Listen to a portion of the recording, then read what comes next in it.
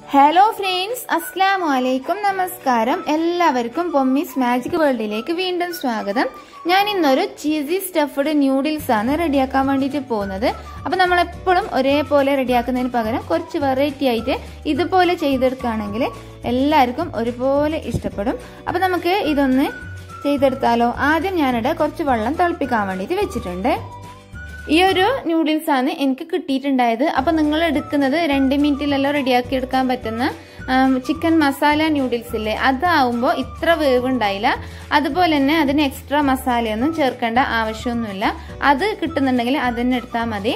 ഇനി നമുക്ക് ഈ ഒരു വെള്ളം തിളച്ച് വരുന്ന സമയത്ത് ഇതിലേക്ക് കുറച്ച് ക്യാരറ്റും കുറച്ച് കാപ്സിക്കവും ചെറുതായി അരിഞ്ഞത് ഇട്ട് കൊടുക്കുക ഇനിയിലേക്ക് ഒരു അര ടീസ്പൂണോളം ഗരം മസാല പൊടിയും അര ടീസ്പൂണോളം കുരുമുളക് പൊടിയും കൂടി ഇട്ട് കൊടുക്കുക. ഇതിലേക്ക് നമ്മൾ എടുത്തു വെച്ച ന്യൂഡിൽസ് ഇട്ട് കൊടുക്കുക. ഇതിലേക്ക് പ്രത്യേകിച്ച് ഒരു കണക്കൊന്നുമില്ല. നമുക്ക് എത്ര വേണ്ടത് അതിനനുസരിച്ചിട്ട് ഇട്ട് കൊടുത്താൽ മതി. ഈ ഒരു മാഗിയുടെ കൂടെയും ഒരു ചെറിയൊരു പാക്കറ്റ് മസാല കിട്ടിയിട്ടുണ്ട്. അപ്പോൾ അതും കൂടി ഇതിലേക്ക് ഇട്ട് കൊടുക്കുക. അത് കൂടാതെയാണ് ഞാൻ ഗരം മസാലയും കുരുമുളക് പൊടിയും കൂടി ഇട്ട് കൊടുത്തിട്ടുണ്ടായത്. മസാലയിൽ നിങ്ങൾക്ക് എത്ര വേണ്ടത് അതിനനുസരിച്ചിട്ട് ഇട്ട് കൊടുത്താൽ മതി. നമുക്ക് രണ്ട് മിനിറ്റിലല്ലോ റെഡിയാക്കാൻ പറ്റുന്ന മാഗിയെല്ലാം വാങ്ങാൻ കിട്ടുമല്ലോ. ആ ഒരു മാഗിയാണ് നിങ്ങൾ എടുക്കുന്നുണ്ടെങ്കിൽ ഈ ഒരു എക്സ്ട്രാ മസാലന്റെ ആവശ്യമൊന്നുമില്ല.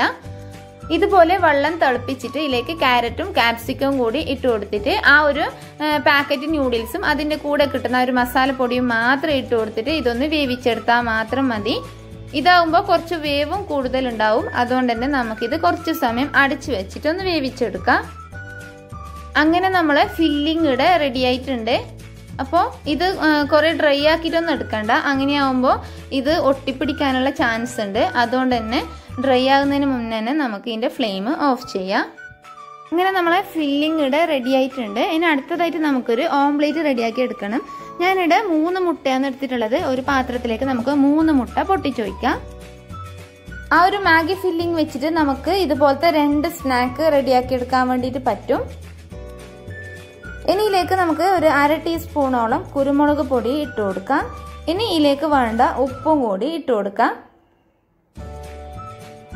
ഇനി ഞാൻ ഇതിലേക്ക് കുറച്ച് കാപ്സിക്കവും കുറച്ച് ക്യാരറ്റും കൂടി ഇട്ട് കൊടുക്കുന്നുണ്ട്. അതിന്റെ ഒന്നിച്ച് തന്നെ കുറച്ച് ഉള്ളിയും കൂടി ഇട്ട് കൊടുക്കാം. ഇനി നമുക്കിനെ നല്ല പോലെ തന്നെ ഒന്ന് ഒരു സ്പൂൺ വെച്ചിട്ട് ഒന്ന് ബീറ്റ് ചെയ്തെടുക്കാം. നമ്മൾ ഓംലേറ്റ് എല്ലാം റെഡിയാക്കുമല്ലോ അതുപോലെ ഒന്ന് നല്ല പോലെ ഒന്ന് ബീറ്റ് ചെയ്തെടുത്താൽ മാത്രം മതി. നമുക്ക് വേണ്ട ഐറ്റംസ് എല്ലാം റെഡി ആയിട്ടുണ്ട്. ഇനി നമുക്കിതൊന്ന് സെറ്റ് ചെയ്തെടുത്താലോ? അതിന് വേണ്ടിയിട്ട് ഞാനൊരു ഒരു പാൻ വെച്ചിട്ട് ഇതിലേക്ക് കുറച്ച് ബട്ടർ ഇട്ട് കൊടുത്തിട്ടുണ്ട്. ബട്ടർ കയ്യിലില്ലാന്നുണ്ടെങ്കിൽ ഓയിൽ ഒഴിച്ചു കൊടുത്താലും മതി. അതൊന്ന് ചൂടായി വരുന്ന സമയത്ത് ഇതിലേക്ക് നമ്മൾ റെഡിയാക്കി വെച്ച എഗ് മിക്സ്ചർ ഒഴിച്ചു കൊടുക്കാം. ഇത് മീഡിയം ഫ്ലെയിമിൽ വെച്ചാൽ മതി. ഹൈ ഫ്ലെയിമിലൊന്നും വെക്കണ്ട. ഇതൊന്ന് റെഡിയായി വരുന്ന സമയത്ത് ഇതിലേക്ക് നമ്മൾ റെഡിയാക്കി വെച്ച ഫില്ലിങ് വെച്ചുകൊടുക്കുക. ഇത് ഒരു സൈഡിലേക്കായിട്ട് വെച്ചുകൊടുത്താൽ മതി. ഇത് നമുക്ക് ഫോൾഡ് ചെയ്തെടുക്കാനുള്ളതാണ്. അതുകൊണ്ടാണ് ഒരു സൈഡിലേക്ക് മാത്രം ഇട്ട് കൊടുക്കാൻ വേണ്ടിയിട്ട് പറയുന്നത്. ഒരു സൈഡ് ഫുള്ളായി തന്നെ ഇട്ട് കൊടുക്കാം ഇനി നമുക്ക് ഇതിന്റെ മേലെ ഗ്രേറ്റ് ചെയ്തെടുത്ത ചീസും കൂടി ഇട്ട് കൊടുക്കാം ഇനി നിങ്ങൾക്ക് വേണമെന്നുണ്ടെങ്കിൽ സോസ് ഒഴിച്ചു കൊടുക്കുക. അതെല്ലാം നിങ്ങളെ ഇഷ്ടമാണ്. നിങ്ങൾക്ക് സോസ് വേണമെന്നുണ്ടെങ്കിൽ ഈ സമയത്തോ അതല്ലാന്നുണ്ടെങ്കിൽ സെർവ് ചെയ്യുന്ന സമയത്തോ ഒഴിച്ചു കൊടുക്കാം അങ്ങനെ നമ്മളെ ടേസ്റ്റി ആയിട്ടുള്ള ചീസി സ്റ്റഫ്ഡ് ന്യൂഡിൽസ് ഇവിടെ റെഡി ആയിട്ടുണ്ട്. നിങ്ങളിത് ഒരു തവണയെങ്കിലും ഉണ്ടാക്കി നോക്കണം. അങ്ങനെ നിങ്ങൾ ഉണ്ടാക്കുകയാണെങ്കിൽ ഉറപ്പായിട്ടും ഇതിന്റെ അഭിപ്രായം കമന്റ് ബോക്സിൽ അറിയിക്കണം.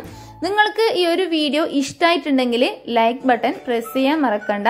അതുപോലെ തന്നെ നിങ്ങൾ സബ്സ്ക്രൈബ് ചെയ്യാതെയാണ് കാണുന്നതെങ്കിൽ ആ ചുവന്ന സബ്സ്ക്രൈബ് ബട്ടൺ ഒന്ന് പ്രസ് ചെയ്യണേ. അതിന്റെ കൂടെ വരുന്ന കുഞ്ഞ് ബെല്ലൈക്കൺ മറക്കാതെ പ്രസ് ചെയ്യണേ. അങ്ങനെയാവുമ്പോൾ ഞാൻ പുതിയ വീഡിയോസ് ഒക്കെ അപ്ലോഡ് ചെയ്യുന്ന സമയത്ത് അതിന്റെ നോട്ടിഫിക്കേഷൻ നിങ്ങൾക്ക് ഉടനെ തന്നെ കിട്ടുന്നതായിരിക്കും. അപ്പോൾ നമുക്ക് പുതിയ വീഡിയോയിൽ കാണാം. ഇൻഷാല്ല അതുവരേക്കും. Tata bye chicken